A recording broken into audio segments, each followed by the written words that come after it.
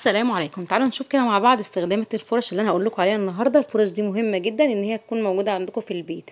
هننضف بيها البوتاجاز والشفاط والتلاجة والأنتريه وحاجات كتير قوي في المطبخ والأماكن الضيقة زي ما أنتم شايفين كده.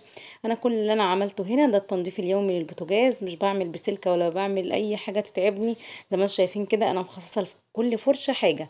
يعني أي ح... يعني البوتاجاز حاجة والتنظيف الانتريه حاجة و... وأي حاجة هقول لكم لأن هي بتيجي ثلاث ألوان مع بعض. الفرش ثلاث ألوان ب 12 جنيه. هي كانت ب 10 جنيه بقت ب 12 جنيه. أول حاجة كده بجيب الفرشة واغسل حوامل البوتاجاز وهي محطوطة كده زي ما هي. بجيب شوية مية بصابون عادي جدا. أي صابون سائل عندك. غسلت كده الحوامل وهشطفها كده على الحوض واسيبها تتصفى. وهغسل البوتاجاز زي ما أنتم شايفين كده بنفس المية والصابون اللي أنا حطيتهم على البوتاجاز. عايزة أقول لكم إن الفرش دي بتسهل عليكم مجهود وتعب ولا دعك بسلكه ولا أي حاجة هي السنون بتاعتها خشنة وبتنضف البوتاجاز ده التنظيف اليومي للبوتاجاز.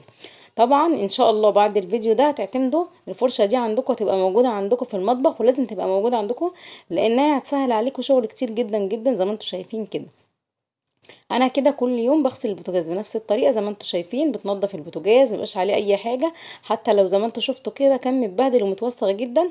فطبعا يعني هو دوت المطبخ وكل يوم بنعمل أكل على البوتاجاز فلازم يبقى بالمنظر اللي أنتم شفتوه ده محدش يقنعني إن هو هيبقى بيلمع كده لوحده. تمام؟ فأنا ده التنظيف اليومي اللي أنا بعمله كده وأنا واقفة في المطبخ. وبسم الله ما شاء الله يعني خلاص خدت على كده وخدت على التنظيف بالفرشة وإن الفرشة بصراحة بتسهل عليا حاجات كتير جدا. بس لو في حاجة طبعا لازقة على البوتاجاز بتدلقوا مية مغلية علشان طبعا وتسيبوها شوية كده تلاقوها خلاص كل حاجة طلعت لوحدها على طول زي ما أنتم شفتوا كده. وبأي فوطة كده طبعا بتاعه مطبخ هتنشفوا بس كده المية بالصابون زي ما أنتم شايفين. لكن طبعا عيون البوتاجاز أنا عملت مع يعني معاكم تنظيفات كتير قوي لعيون البوتاجاز بأسهل طريقة. آخر حاجة كده بالبطاس بسم الله ما شاء الله ما خدتش كده ثواني ونضفته معاكم العين ورجعتها جديدة. بإذن الله ترجعوا للفيديو دوت آه تنظيف عين البوتاجاز والاستانلس بمكون واحد بس هيعجبكم جدا. زي ما أنتم شايفين كده خلاص البوتاجاز معايا بقى زي الفل حتى بشيل العيون كده عشان بعملها بشكل يومي وتبقى تحتيها ما فيش أي حاجة زي ما أنتم شايفين كده. لكن بصراحة عيون البوتاجاز أنا مش بغسلها يوميا. يعني ممكن أغسلها ك... يعني كل 3 أيام أو كل أسبوع بعمل لها كده تنظيف قوي. زي ما أنتم شايفين كده البوتاجاز رجع يلمع وبقى زي الفل. بسم الله ما شاء الله. وكانت خلاص الحوامل اتصفت معايا ما فيهاش حاجة.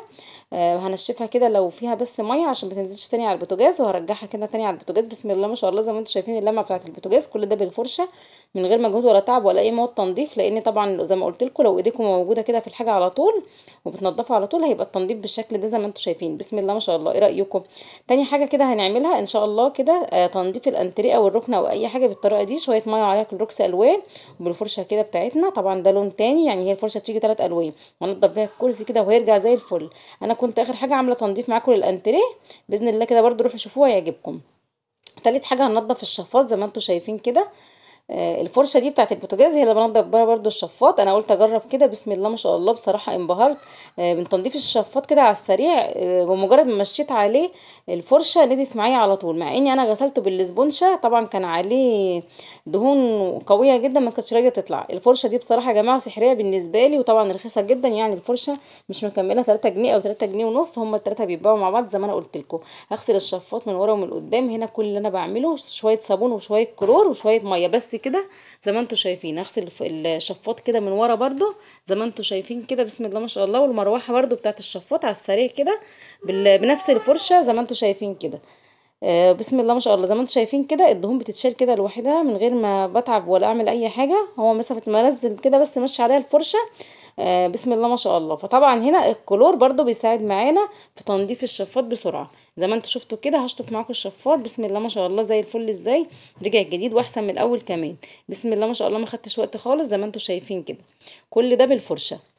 لو وصلتوا معايا لحد هنا ما تنسوش تحطوا اللايك والاشتراك في القناة. هنا بوريكم كده السرعة إزاي وإن الحاجة تتعمل معايا بسرعة بسم الله ما شاء الله وترجع كده زي الفل.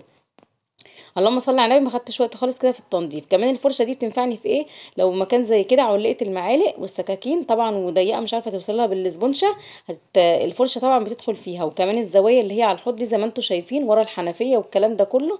وكمان الصرف بتاع الحوض لو في أي حاجة بتغسلي كده جواه بتطلع معاكي بمنتهى السهولة وبتنضف بتوصل طبعا ل... يعني الاماكن عميقة وضيقة انت مش عارفة توصلي لها بإيدك أو بالاسبونشه زي ما أنتم شايفين كده أنا غسلت الحوض كله بالطريقة دي.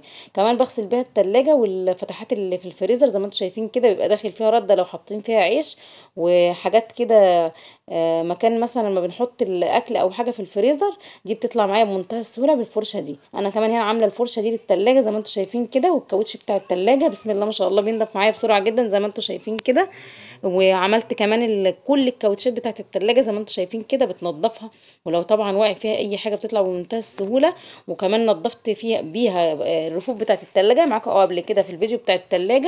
أنا مجمعة لكم كده عشان طبعا اللي يعني متفرجش معايا على الفيديوهات دي قبل كده يستفيد بإذن الله ويجيب الفرش دي. هنا بقى في الدرج بتاع المطبخ ده كنت يعني بحتار جدا في الأماكن الضيقة دي مش عارفة أوصل لها بالسبونشه أو أطلع الحاجات اللي جوه دي. فجيت يعني أجرب كده بالفرشة. بصراحة لقيت زي ما أنتم شايفين كده الأركان الضيقة واللي مش عارفة أوصل لها بتطلع منها كده زي ما أنتم شايفين.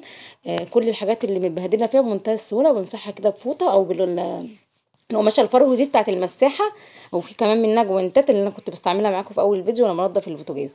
لو وصلتوا معايا لحد هنا ما تنسوش ال like الاشتراك في القناة وتقولوا لي إيه رأيكم؟ وأنتوا بتستخدموا الفرش دي ولا لأ؟ ولا لسه هتجربوها بإذن الله؟ ولو جربتوها إن شاء الله هتنفعكم. زي ما أنتم شايفين كده أنا بغسل بيها كده جوه الأدراج وكمان زي ما أنا بقول لكم كده بغسل بيها الزوايا كلها اللي على الحوض واللي ورا الحنفيات وطبعا لو رشيتي هنا مية بكلور بتنضف معاكي كل الحاجات دي بسرعة جدا جدا وبتوصلي بقى للأماكن الضيقة زي ما انت شايفة كده. لو وصلتوا معايا لحد هنا وما حطيتوش ال like حطوا ال like وما تنسوش الاشتراك في القناة وتفعيل الجرس على الكل فضلا وليس امرا. في أمان الله.